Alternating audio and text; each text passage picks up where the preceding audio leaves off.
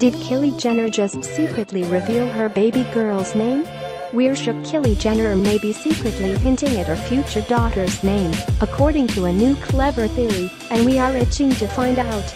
Get all the interesting details here. Kylie Jenner, 20, has kept her reported pregnancy under wraps, but she may be secretly revealing the name for her expected baby girl and you can find it in her makeup line, according to Radar Online. Kylie has been known to name some of her signature lip kit colors after females that are near and dear to her so could it be that she is hinting toward a possible baby name in her new holiday collection? Maybe so.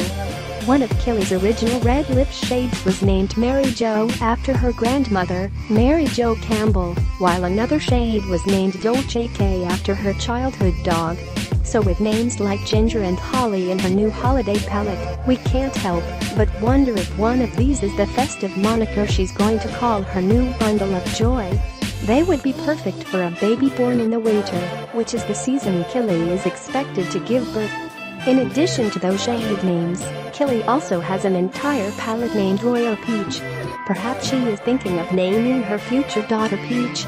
Another option is Pearl, which Kylie named one of her new concealers. If she's not going for something new, she may even use a name in one of her older cosmetics lines such as Amber, Angel, or Hazel. Since she's been so secretive with her pregnancy, it's hard to know for sure what name is on her mind, but it sure is fun to guess. Whether we're guessing what Kylie's thinking or not, she sure has been good at leaving cryptic messages all over her social media since news of her pregnancy broke.